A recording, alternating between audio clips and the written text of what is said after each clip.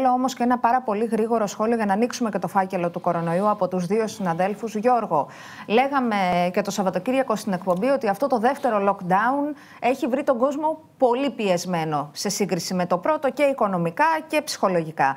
Ε, τα νέα μέτρα που ανακοινώθηκαν σήμερα, εσύ πώς τα είδες, είναι προφανώς αναγκαία, αλλά καταλαβαίνεις και εσύ έναν αναβρασμό από την κοινωνία; Ασφαλώς. Νομίζω ότι όποιος δεν το βλέπει αυτό είναι τουλάχιστον αφελής.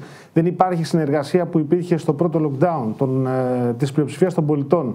Αυτό όμως, μην το παρεξηγήσουμε, έχει να κάνει περισσότερο με την κούραση.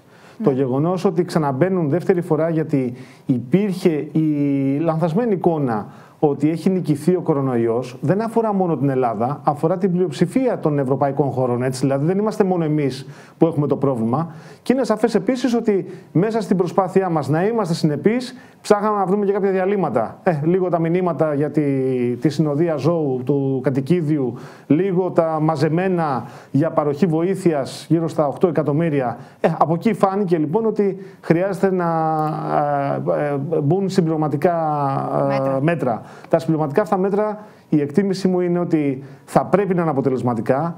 Διαβάζω όπως γνωρίζεις και εσύ ε, και ακούω και ε, συζητάω και με ειδικούς σχεδόν καθημερινά. Έχω την εκτίμηση, αυτό λένε τουλάχιστον οι ειδικοί και θα σας το πούν και στην εκπομπή σας συνέχεια, ε, ότι οι επόμενες εβδομάδες είναι πολύ κρίσιμες. Και είναι πολύ κρίσιμες γιατί κάναμε λόγο για ένα μεταλλαγμένο στέλεχος του κορονοϊού, το οποίο φαίνεται ότι κυρίως χτύπησε τη Θεσσαλονίκη και τη χτυπάει ακόμα και τώρα, δοκιμάζοντας εκεί τις αντοχές και της πόλης και του Εθνικού Συστήματος Υγείας.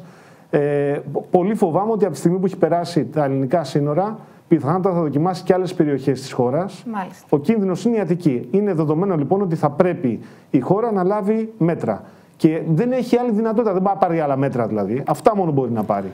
Και από εκεί και πέρα να πιστούμε κι εμείς και να πείσουμε και τους, ε, αυτούς που αμφισβητούν ότι καλό θα ήταν για τις επόμενες εβδομάδες να κάνουν μια προσπάθεια να καταλάβουν τι συμβαίνει ε, στην Ελλάδα.